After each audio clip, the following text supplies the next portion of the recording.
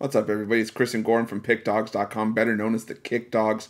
We're taking a look at this Bayern Munich and Benfica UEFA Champions League soccer matchup going down uh, Tuesday, October. Sorry, October. See, I'm still stuck last month. November 2nd, 2021.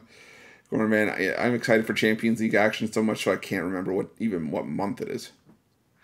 Yeah, it's uh, it's gonna be a great week, especially because of the time change in Europe. So the games are an hour later here uh, in the states in Canada uh, it's gonna be nice to watch this game. You know, after that horrible loss to Borussia Mönchengladbach in the DFB Pokal, uh, Bayern went on and won their Bundesliga game uh, this past weekend. Uh, they just destroyed the other team. They they scored five goals again.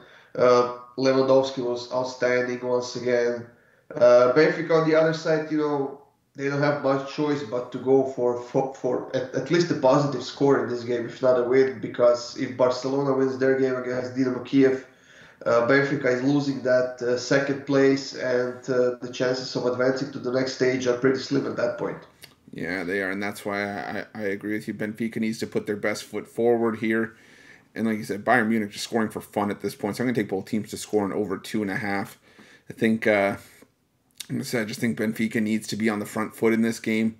I think they at least get one past Bayern Munich here. Maybe you know if Bayern Munich go up a couple and then Benfica are forced to to ramp up the pressure, maybe get a consolation goal. I could easily see that as well. But uh, there is value, I think, maybe on the draw at plus eight hundred. Just if you know Benfica try to sneak out a result and Bayern maybe not on their sharpest. But again, I think the best option here, both teams to score an over two and a half going.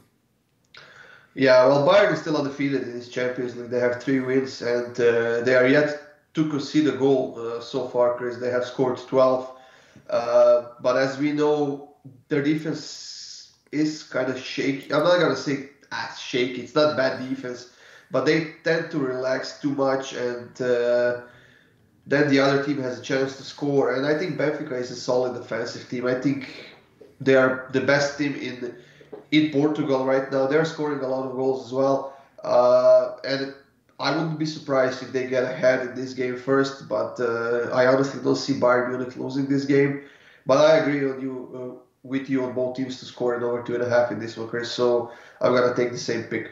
Absolutely. But if you're looking for best bets from Goran, myself, or any of our other world class handicappers, check out PickDawgz Premium. Also, click the link in the description below for our YouTube VIP package for more premium content. Thanks for watching. Don't forget to subscribe and drop a like. Let's catch some winners.